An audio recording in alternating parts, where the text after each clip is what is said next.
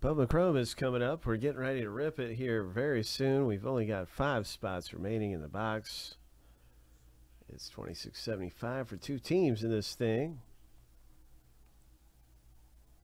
And uh, yeah, we're going to race. Winner gets a spot for like a small fraction of what the regular spot costs. So let's see what happens. Here we go.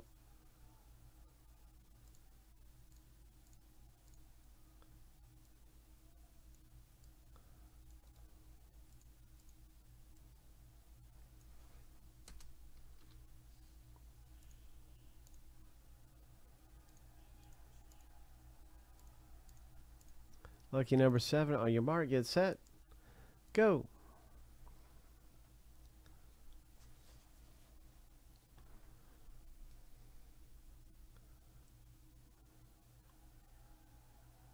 Brian is out front to an early lead with the red jersey.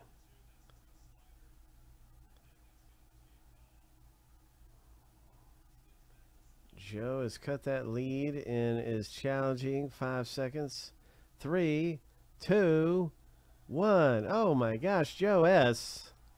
There it is. Congratulations to you, my friend. You just got a spot in the break. That's two teams for Joe in the Rip Bowman Chrome coming up.